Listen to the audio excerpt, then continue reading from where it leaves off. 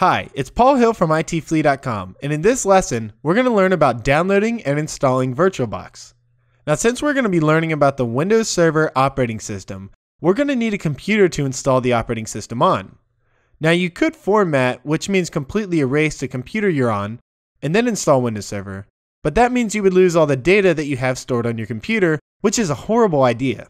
So I could teach you how to dual boot the other operating system, which basically means you split your hard drive in half and then you put another operating system on the new half that you create. But that's really just a terrible idea. So thankfully there is a solution and it's called virtualization, which is a huge topic in the IT world right now. You have to understand it. Virtualization allows you to create a fake computer within your computer. Just like when you install a new game on your computer, you can think of virtualization as being a computer game. But instead of playing the latest Call of Duty or Battlefield, the game will be another computer. This allows us to create a virtual computer and launch it from our desktop computer. We can install any operating system we want, and we're going to take full advantage of this technology by installing the Windows Server 2016 operating system on a virtual machine. Best of all, you can get all this software completely free of charge. To get started, we're going to have to download VirtualBox. So I need you to open your web browser, and go to virtualbox.org.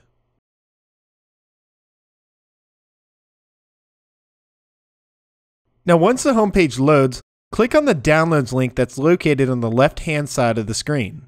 Now, under the VirtualBox binaries, we're looking for the correct version of VirtualBox depending on what operating system we're using. So, if you're using Windows 7 or Windows 10, you'll want the Windows host. If you're on Mac, then you want to choose OS X. And if you're on Linux, you can choose those and so forth.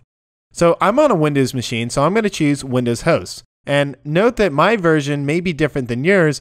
VirtualBox is always releasing updates, so if you see a different version number, that's no big deal. Just go ahead and download it. It's still going to do the same thing for you.